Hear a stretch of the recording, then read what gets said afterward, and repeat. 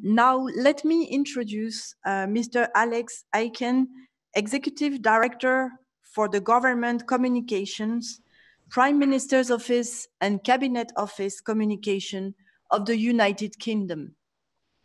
Mr. Dr. Briand, sorry. Dr. Briand, thank you uh, very much, and it's a pleasure and a privilege to speak at the uh, WHO and to contribute uh, in a sense of humility and I hope uh, opportunity to this really important debate and to uh, follow uh, Victor's, our colleague from uh, Latvia, where I've been to and talked to the Latvian government about the importance of tackling uh, disinformation on a society-wide level. But today, I want to talk and build on the history of collaboration that the World Health Organization and the United Kingdom government have and make an offer to all uh, the countries and governments involved about how we can collectively and effectively tackle uh, disinformation. First, as the WHO has pointed out, we do face an infodemic, and that challenge poses a serious poses a serious challenge to vaccine confidence, and more widely, a challenge to confidence in government. As the Lancet has demonstrated in a survey of 149 countries, vaccine confidence is dropping across the world. And the failure to address this compromises our response to the pandemic and, in addition, global and indeed local health outcomes. So the responsibility of a response is shared. I was struck by a recent survey from the London School of Hygiene and Tropical Medicine, who said that after people have been shown misinformation on vaccines. Citizens who said they would definitely accept a COVID vaccine fell by over 6, 6%, and this brought the rate below the level needed for population level immunity. So we know that disinformation and misinformation has an effect. And if we are to tackle that, we have to do this together. I have um, spent the last uh, eight months, like everyone on this at this conference, trying to contribute to the global fight against this dreadful virus. And communications has proved in the United Kingdom and indeed in other countries to be a powerful lever for public good, to shape public behaviours. In the UK, the Hands Face Space campaign to, uh, to encourage the public to adopt the right behaviours has been central to our work. We've also, in the cross-government effort, had a strong team working to counter disinformation on 5G conspiracies and other areas. So we've developed a certain expertise in this area. And we've shared that, working with the UN and the World Health Organization and the uh, universities. We have developed the Go Viral online game, which is aimed at younger people, and it teaches them about the dangers of uh, of misinformation and how they can combat it. We've mobilised our rapid response unit in the UK, which every week deals with up to 70 issues of misinformation and works with the social media companies and civil society to tackle disinformation. But as we now approach the rollout of uh, vaccines, we have to we have to recognise that the pandemic uh, and the infodemic, infodemic doesn't respect borders, which is why we are supporting a global response and that collaboration across the whole of society. And we expect to make this a central part of our agenda as the United Kingdom uh, chairs the G7 in uh, 2021.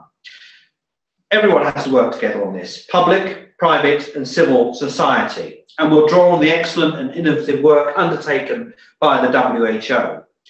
We believe that the framework for tackling the infodemic has three pillars principles, partnering, and platforms. In terms of uh, principles, we need to work with partners to develop a best practice approach that will prove effective at a global uh, level. We know that fundamentally what works is telling powerful stories through trusted intermediaries, particularly those from this community, from the scientific and medical and public health uh, professions. This trusted coalition, in partnership with government, can meaningfully impact public health outcomes and reassure people, give them the confidence in the vaccines that the world scientists are developing. And we believe that using that as a starting point, we can build a holistic and evidence-based approach to the pandemic.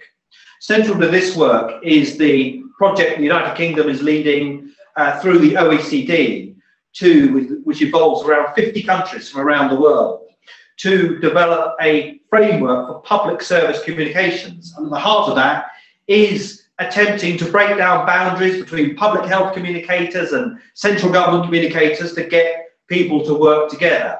And what there could be no more important task than working together on tackling the pandemic. And I think I would also make the point that communication, in my view, is science, not sport or art. And to effectively tackle the pandemic, as we have found in the UK, you need press officers and marketing people, but you also need data scientists, behavioural experts, and counter disinformation specialists. Turning to partnering, as Dr. Tedros has been quoted as saying, we are not just fighting an epidemic, we are fighting an infodemic. And fake news spreads faster and more easily, I would argue, than the virus and just as and is just as dangerous. Partnering means encouraging people to build on best practice. In the UK, we have utilised uh, universities. I've talked about the Go Viral campaign, and we also have our Resist framework for tackling disinformation, which is available publicly on the UK government's website, gov.uk, and I would encourage colleagues to use and build and indeed improve upon uh, that. So with partners, we can deliver a global campaign and global uh, impact. And we'll work, of course, with the WHO, but also with anyone who wants to come together and join that coalition, as we heard from Victor earlier on in this uh, session.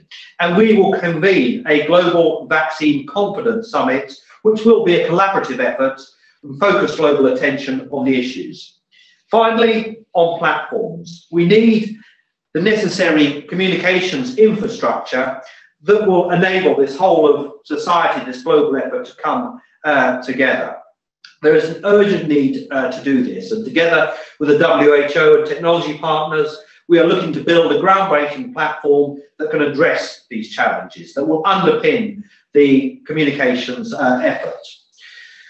Throughout the world, we've endured uh, the same uh, challenges over the uh, pandemic, and we have drawn on the inspiration and the knowledge of countries as diverse as Germany, New Zealand, and Singapore, and Japan, and uh, Korea. And we'll take those lessons in to our presidency of the G7 uh, next year. But we need now to take action to address the immediate threat. So, in closing, I would say that alongside our global partners, the UK is using its leadership position as G7 president to tackle the threat of the infodemic head on. We're ambitious in our goals, but we think this is necessary for the challenge we face, and this is a once in a generation opportunity. If we don't get this right, it has the potential to have long term and a detrimental effect on public health. It will undermine confidence in future vaccines. It will damage public health initiatives and trust in government and indeed non-governmental institutions. There is no room for a plan B. We passionately believe that with concerted global leadership, where the UK will play its part, and through the WHO and our partners in academia and the social media companies the private sector, we will win the fight against the infodemic. Thank you very much for this opportunity to contribute to your discussions. Thanks a lot, uh, Mr. Aiken, for those very uh, wise words. Uh, indeed, you're right. Uh, uh, we need always to remember that building trust is absolutely crucial for an effective response to an epidemic or a pandemic.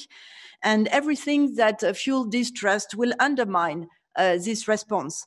And so, and this is also no other way than working together in partnership to build this trust.